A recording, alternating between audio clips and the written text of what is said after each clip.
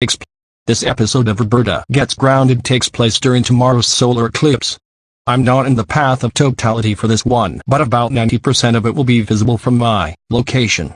When viewing the solar eclipse, remember to wear your eclipse glasses or make a viewing tool. Looking at it directly can cause sight loss. With that out of the way, enjoy the video in the day of black sun.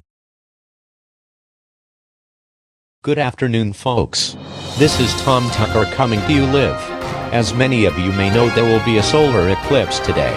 Quahog isn't in the path of totality, but we will have the sun mostly blocked out. You can go to your local library to get your eclipse glasses or you can get them on Amazon, like I did. Looking directly at the eclipse will cause sight loss. If you're a firebender, you will lose your bending since the sun will mostly be blocked off. Hang on, I just received word that it's only for totality.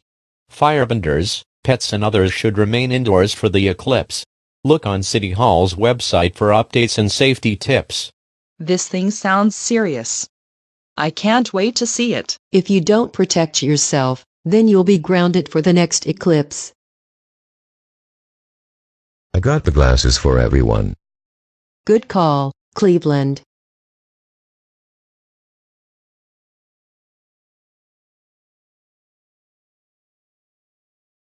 Wow. It's beautiful. I'm gonna send a picture to Federline. Hold on a second.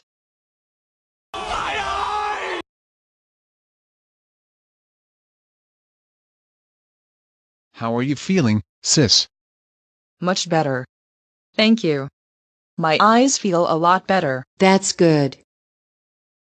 Because you're grounded until August 12, 2045, which will be the date of a Floridan eclipse. Dr. Hartman is charging us $1,295.31 for your careless action of taking off your glasses during the eclipse. You're lucky that your sight came back at all.